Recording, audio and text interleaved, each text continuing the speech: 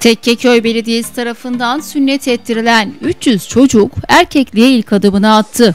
Sünnet olan çocuklar düzenlenen geleneksel sünnet şöleniyle unutulmaz bir gün yaşadı.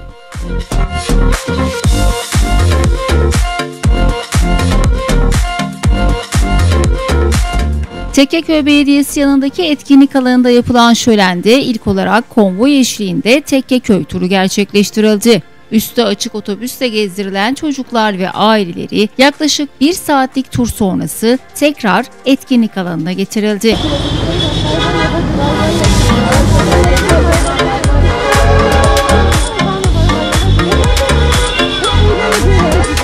Çocuklar etkinlik alanında kendileri için hazırlanan oyun parkurlarında eğlenceli dakikalar geçirdi.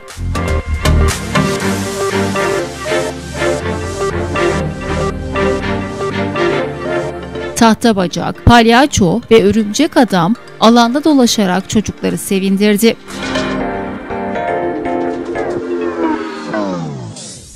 Etkinlikte patlamış mısır ve kavurmalı pilav ikramları da yapıldı.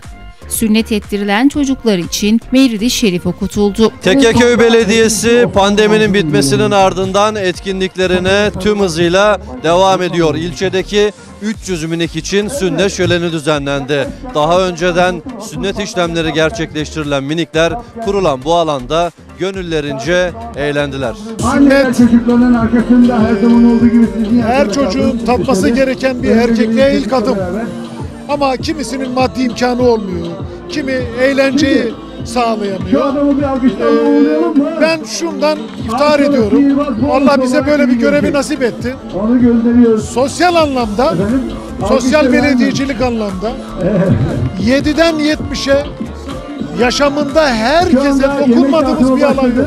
Sünnetinden evine, yaşlısına, verecek ihtiyaç sahibine. Bugün de Samsun'un ruhu 300'e ve Samsun yakın, e, ihtiyaç sahibi. Sünnet mutluluğunu tatmak isteyen çocuğumuzun sünnetinden kılık kıyafetine kadar, hediyesine kadar bütün her şeyi belediyemiz ve iş insanlarımızla birlikte. Bu mutluluğu onlara yaşattık. Etkinliklerde Bu sürecek bir konser organizasyonumuz da var. O da önemli bir etkinlik. Onunla ilgili neler söylersiniz? 27 Hazır mısınız? Temmuz'da olmasının sebebi Merak 30 Ağustos Teknofest olduğu için Şimdi buradan mı 27 başlayalım, buradan Ağustos'a çekilen bir 30 Ağustos Zafer Bayramı'nın buradan diyenler 100. yıl kutlamaları o akşam yine bütün Samsun'u. Burada sanatçılarımızla, halk oyunlarımızla Buradan başlayacağız. inşallah şehrimizin stadının hemen yanında bekliyoruz. Sahneye çocuklar ve aileleri çağrılarak çeşitli yarışmalar düzenlendi. Yarışmalardaki kazananlarsa ödüllendirildi. Hazır mısınız? Çocuk diyecek ki anne 5 lira verir misin? Dondurma alacağım siz diyeceksiniz ki ne? 4 lira mı? Ne alacaksın 3 liraya? 2 lira neyle yetmiyor? Al sana 1 lira. İnşallah söyleyeceksiniz. Buyurun. Etkinlikte Tekkeköy Belediye Başkanı Hasan Togar tarafından da sünnet olan tüm çocuklara Samsun Spor forması hediye edildi. Biz bu şehirde her evlat Samsun'la Samsun Spor'la tanışsın, onunla büyüsün diye bu anlamlı formayı bugün hediye etmeyi hepsini uygun gördük. İnşallah bu forma onların sırtından hiç çıkmayacak ve belki birçoğu bu ülkenin, bu şehrin, bu kulübün birer hayırlı evladı olacaklar diyorum.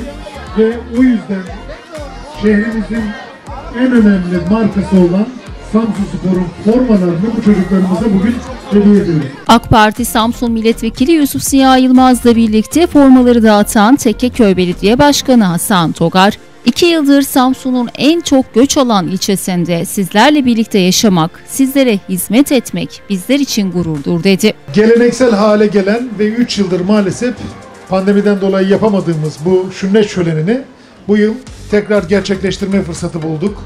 Bunu bu sünnet şölenini, sünnet geleneksel sünnet etkinliğini seneye Allah nasip ederse çocuk şenliğine çevirmek istiyoruz.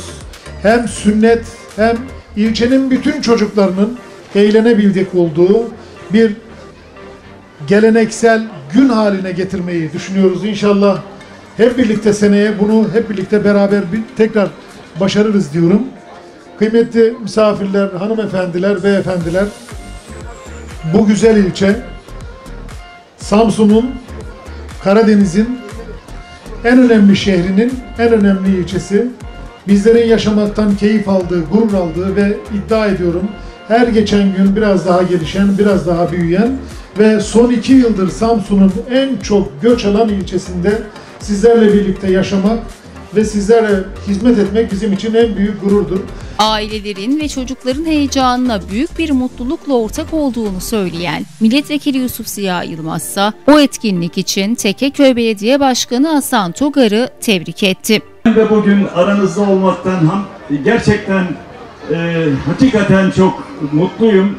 Çünkü bugün Tekeköy'de Hasan Bey pandemi sürecinde bir türlü gerçekleştiremediği çocuklarımızın sünnet etkinliği dolayısıyla bir araya gelişimize ben de tesadüf ettim. Daha doğrusu Hasan Bey gelirsen memnun olurum deyince memnuniyetle dedim. Bugün çocuklarını sünnet ettirmiş ailelerin mutluluğunu, o çocuklarının sünnet mürüvvetini gören ailelerin, hanımefendilerin, beyefendilerin gözlerindeki mutluluğu, gözlerindeki sevgiyi, heyecanı birlikte görmek, ona tanıklık etmek bana da bir güzel gurur veriyor, bana da bir güzel yaşama sevinci veriyor dersem daha doğru olur. Tebrik ediyorum belediye başkanımızı, kardeşimi Hasan Togar Bey'i ve onun değerli eşi Yasemin Hanım'ı. Çünkü bu bir aile sorumluluğu gerektiriyor. Ben hiç unutmuyorum. Tabii sünnet organizasyonlarını ilçe belediyelerimiz daha güzel yapıyor. Biz de e, bir şekilde nikahı ertelemiş, nikah yapamamış.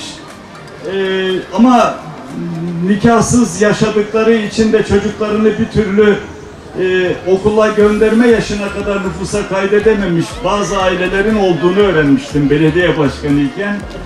Biz de nikah organizasyonları yapıyorduk şeyde e, siz söyleyin Doğu Park'ta.